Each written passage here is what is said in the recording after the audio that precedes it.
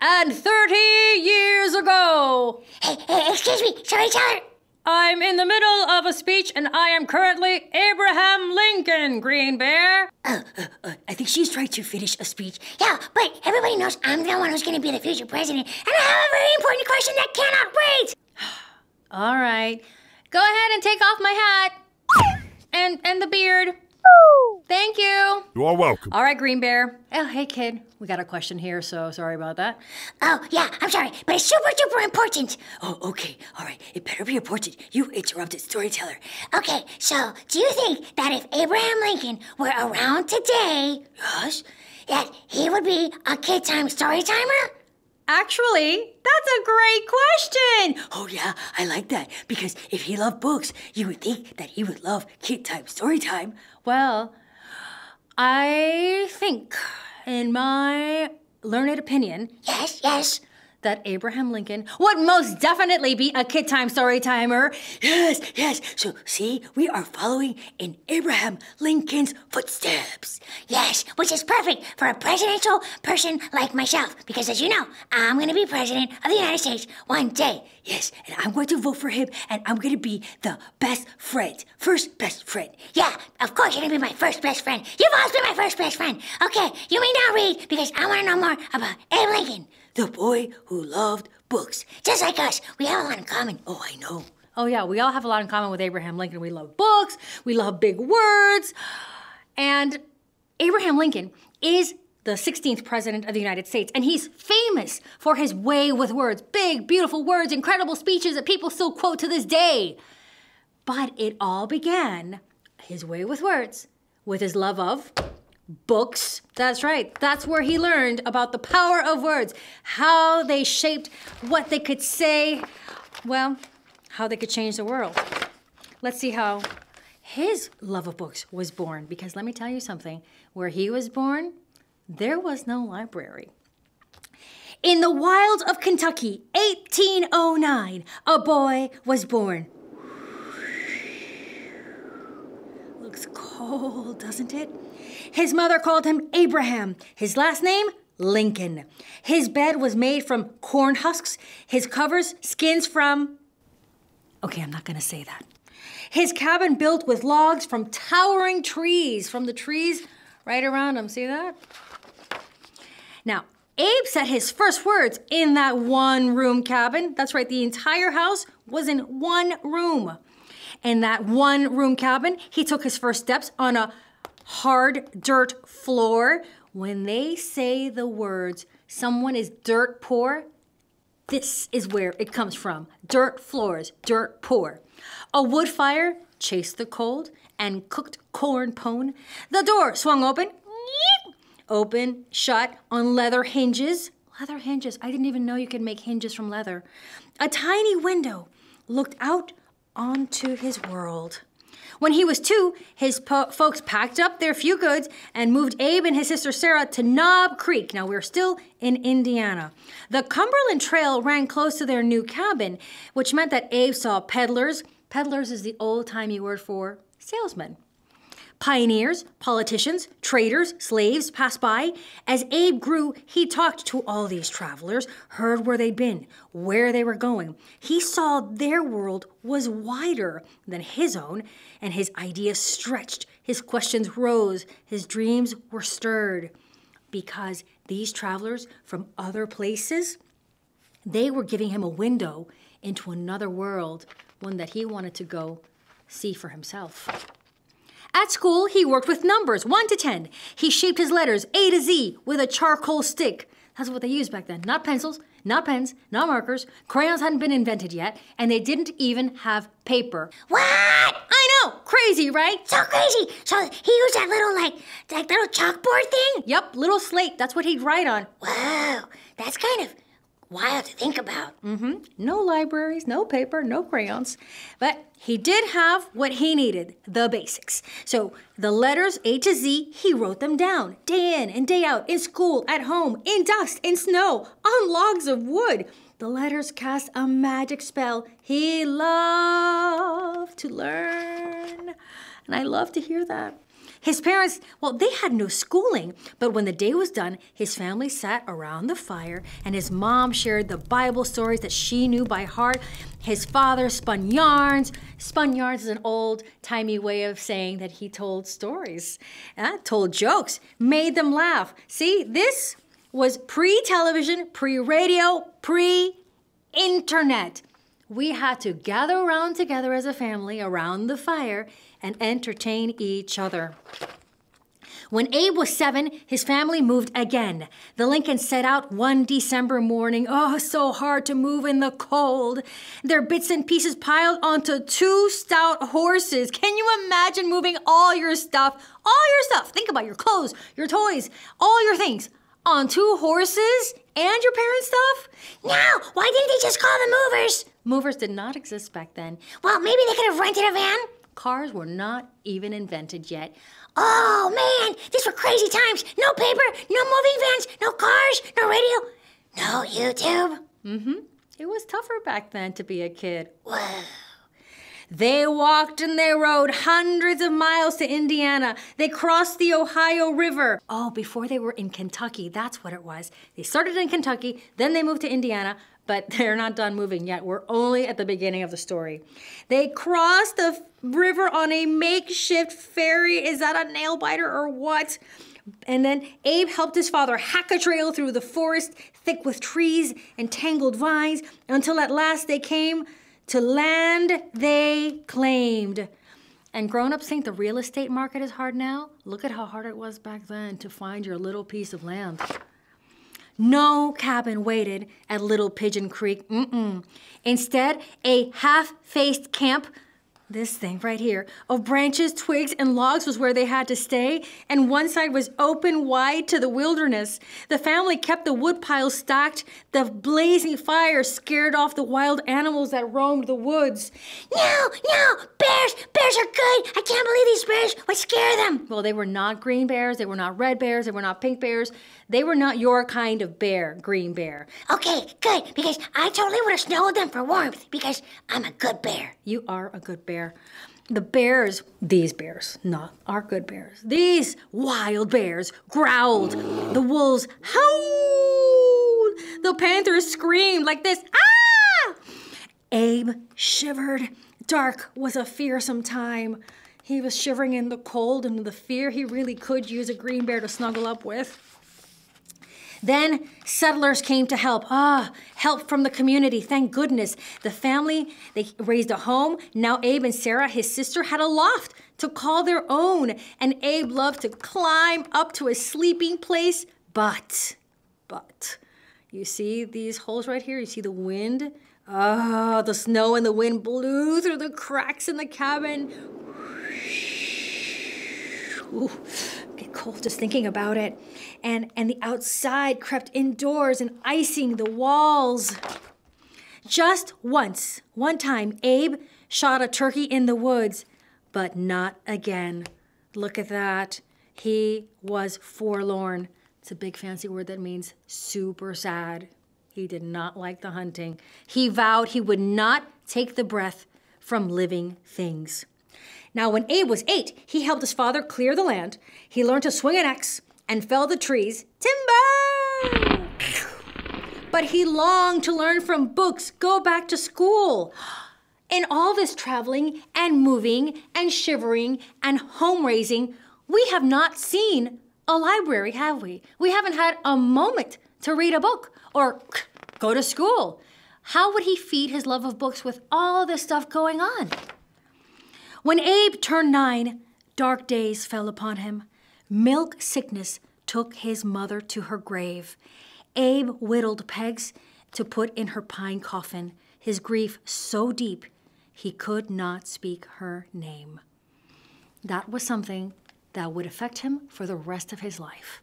Oh, no, storyteller, this is so sad. I know, this was extremely sad. There's no way around that. This was a really big blow for the kid. Uh, and, and what is milk sickness? Can I get sick from milk? No, no, no, Doug the dinosaur. That is an old illness that no longer is around. How did it happen? Well, it used to be, Doug, that occasionally cows would eat a weed that was poisonous to them, this vine. Yeah. And the settlers didn't know this. So a lot of settlers crossing the Midwest would drink the milk from these cows, and it had been basically poisoned. Oh, no. So the milk that his mom drank was poisoned? Yeah, um, and, but nobody knew that, that the cows were eating this thing that poisoned their milk. But once they figured this out many years later, then the poisoning stopped. Exactly. So now you can drink milk, nothing to worry about. Okay, but I'm still sad about him losing his mom. I know. Those are the things that really shape your life. These intensely sad things that happen to to people at any age. It's rough. When you're a kid, it's rough. A year limped by, limped because it was sad. He's just dragging along. His father went to find a wife, and he brought back this lady, a widow who had three kids, and her heart was so wide. She took an Abe and Sarah as her kin. Kin is family. So she loved them, and Abe actually ended up loving his stepmother very much because you know what she did? She encouraged his love of books. She owned books, and she let Abe read when the chores were done. Once more, their house of logs became a home again. There they are, once again gathered around the fire as a family, and there's Abraham Lincoln feeding his love. She sent the children back to school, so you know that made him super happy because he missed school. Abe wore two shorter buckskins and a raccoon cap because he was so tall, he probably kept outgrowing all his clothes, right? He drew his letters with a turkey buzzard quill, a feather. Abraham Lincoln, his hand and pen, he will be good, but God knows when. He actually wrote that. He learned to add, subtract on planks of wood, but most of all, he loved to read, win spelling bees, spin yarns, old fashioned way of saying telling stories, telling stories. When school was shut, Abe hired out to farmers. His father, though, kept the money that he made for the family.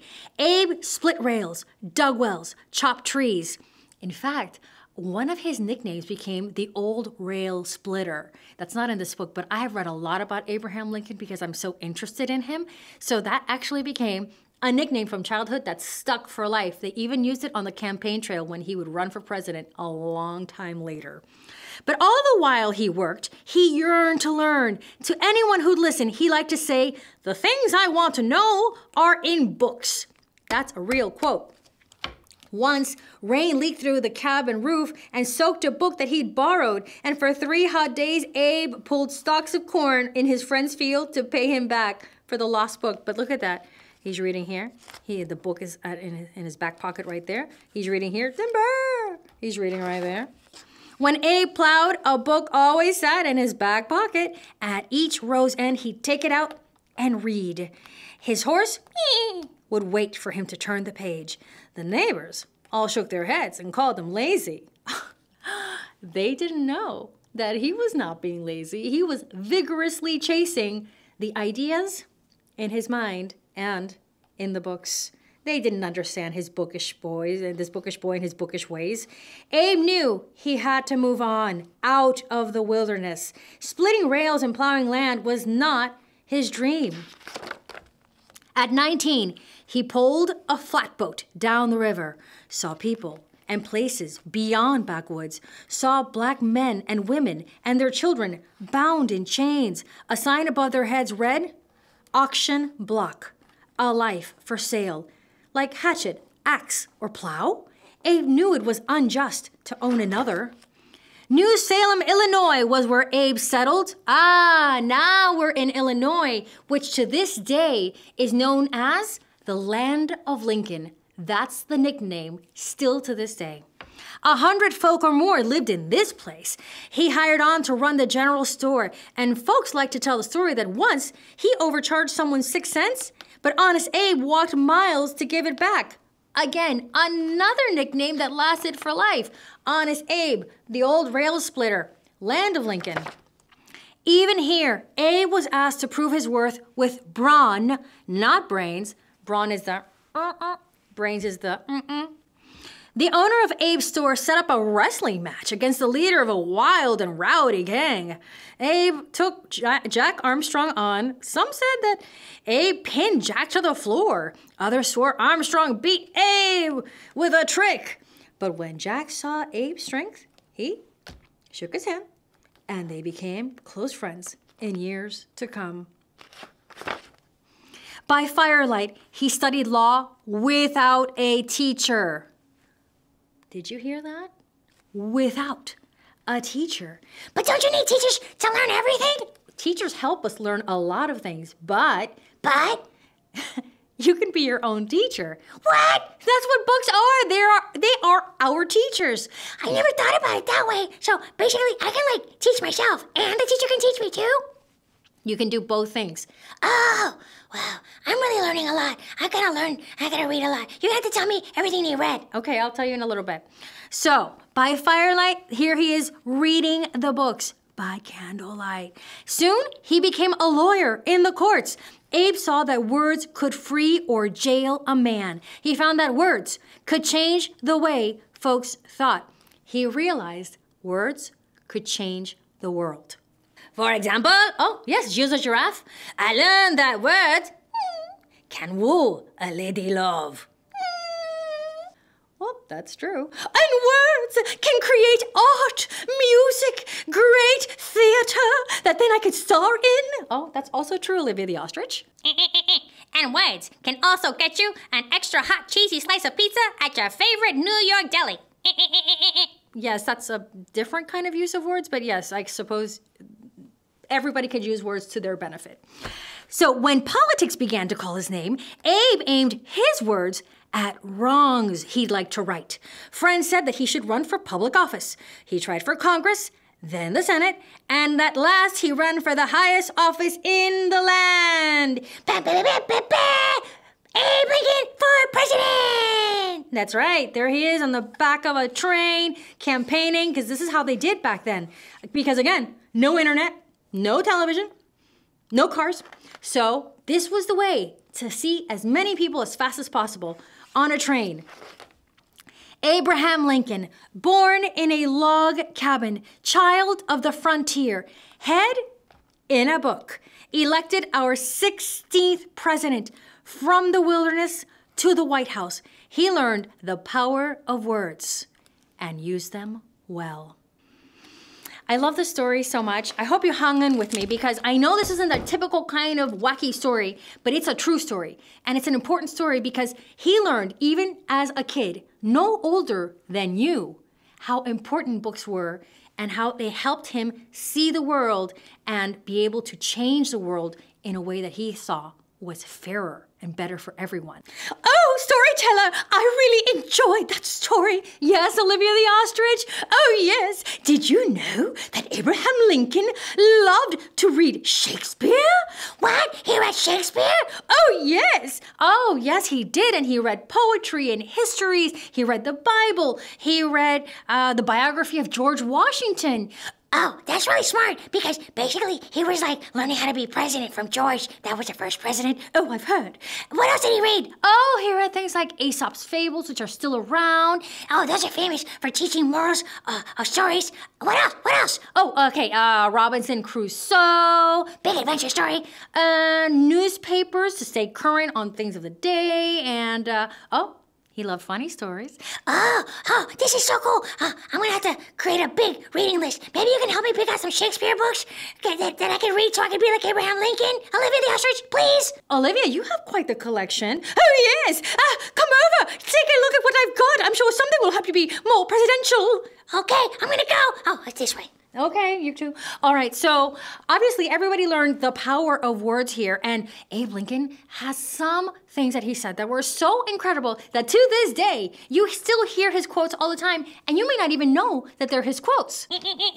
For example, oh, you have one, White Rat? Yeah, my favorite quote is You can fool all the people some of the time. You can fool some of the people all the time, but you can't fool all the people all the time. Oh, that's actually a real Abraham Lincoln quote. And also, I'll take it with extra cheese. Okay, that was not actually a real quote. Oh, oh, I, I have a favorite Abraham Lincoln quote. Oh, what is it, Doug? It is Do I not destroy my enemies when I make them my friends? That's a really good quote and a really good Doug the Dinosaur quote. Yeah, yeah, because it, he he he took all the people who did not like him and then he made them his friends and it worked really well and he said that he was a better president for having them around him and their ideas. Oh, that was wise, very wise. Ooh la la, I also have a favorite quote. Oh, Gilles the giraffe, you too? Yes, yes, yes, oui, oui. Uh, it is a government of the people, by the people, for the people, shall not perish from this earth. Ooh la la. Okay, that ooh la la part was not part of it, but the rest was. So, kid, I just hope that you are feeling as inspired as I was by Abraham Lincoln to read, to learn, to be your own teacher, so that you can harness the power of words and go out there and do great things.